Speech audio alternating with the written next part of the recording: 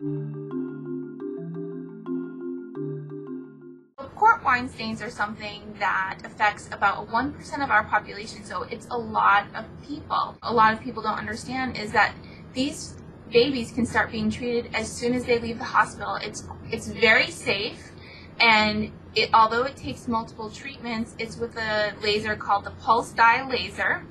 It's safe for the child, even if it's around their eye. We use eye shields, and they will show a progressive reduction of their birthmark with each successive treatment. And even adults who have their port wine stain to this day, um, they can start undergoing treatments.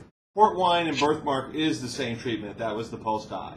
Actually, I am investigating right now an even better treatment for port wine stains, and that's a combination treatment with uh, bipolar fractional radiofrequency, which is the E matrix, in conjunction with pulse laser. The early results show we are seeing a greater result with this combination treatment. So hopefully we'll be able to publish shortly, um, you know, this new technique.